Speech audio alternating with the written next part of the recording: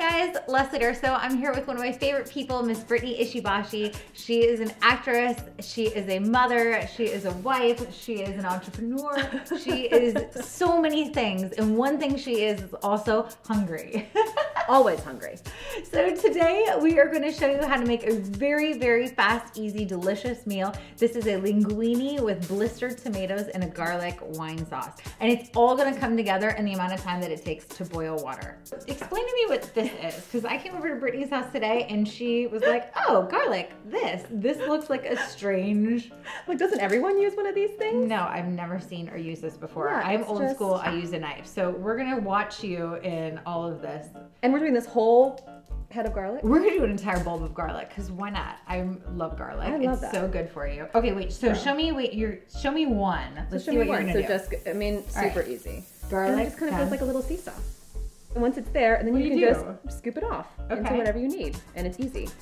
Okay, um, tell me about what you're up to. So Brittany's an incredible actress. If you didn't see her on Political Animals, get it on. Can you get Political Animals? It's on Netflix. On Netflix. Check it out because it's one of my favorite series. Okay, but the biggest news that you've got coming too is she's in a little movie, a little movie coming out with some really cool Co-stars. Yeah. co-stars. Yeah. She's in Teenage Mutant Ninja Turtles.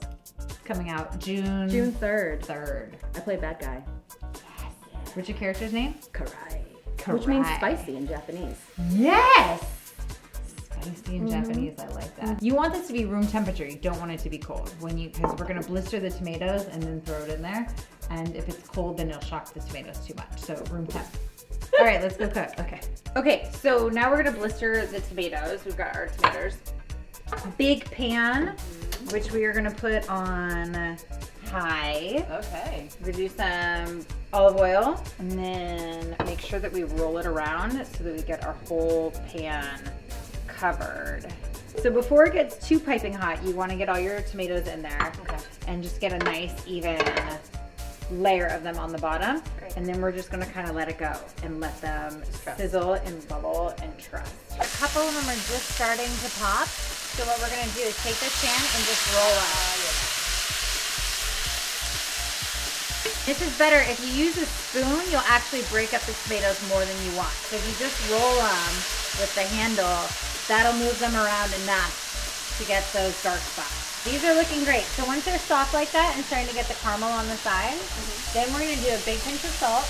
And then we're gonna take all this garlic. We don't put it in at the beginning because we don't want this to get overcooked and bitter, which is what will happen if you overcook garlic. So we want those tomatoes to cook and get beautifully colored. And then we're gonna add all of our garlic. Now stand back because it can it can splash a little bit sometimes, but we're gonna add in our white wine. Just like a cup or like a. You want it to be like three quarters of the way up on the tomatoes. Okay. So about it's about a big glass. Okay. A big glass of wine. So again, we're just gonna shake it and get the, that garlic down. So we've got our water boiling. We're gonna throw in some salt and our dry linguine. So in the rule of thumb is a quarter pound of dry pasta per person that you're serving. So one one pound box is gonna serve four people. And that's what we're gonna do. So pop that in and give it a stir. Got our linguine that I've just drained and we are gonna go right into the pot with it, with all those tomatoes. Take it and turn it over. You wanna keep that burner on when you put the pasta in because you want that pasta to do the last minute cooking in that sauce of the white wine and the garlic and the tomatoes so that it absorbs a little bit more and gets just a little bit more flavor. All done? Let's go plate it. All right, so that garlic, those tomatoes, that white wine is smelling amazing. And what we've got is some fresh basil to top it with. Right. And I'm gonna show you the secret to slicing basil. Oh, the fancy way? The fancy way. So let's take um, some basil leaves and you wanna lay them flat, stacked on top of each other on your board. And then you're gonna roll them into a little, a little roll like that. And I'm gonna have you do this. Okay. But then you're gonna come through with your knife and just do a really fine slice. Yeah? Yeah? Yeah?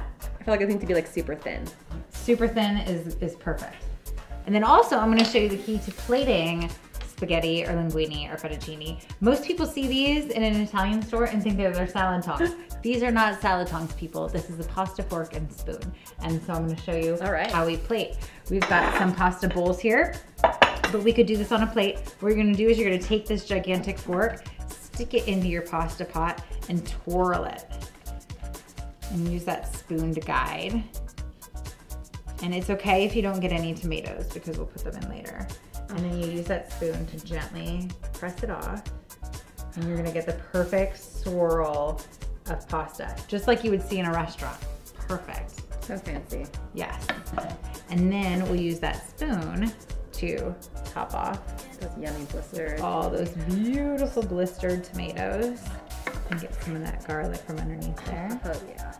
And then we've got that basil that when you toss around is perfectly sliced. Beautiful job, Brittany. And we're just gonna put that right on top. And there you go. Perfect plate. All right, I'm gonna plate mine. Okay. And we're gonna eat. All right. Uh-huh. There are our dishes. There's the rest of that white wine. Cheers. Thanks for cooking with me, Brittany. Thanks for having me. Make sure you follow her on all social media at Brittany Ishibashi, and I'll put the link below. And um, check her out on all of her fabulous movies and TV shows on Netflix, and go see Teenage Mutant Ninja Turtles when it comes out.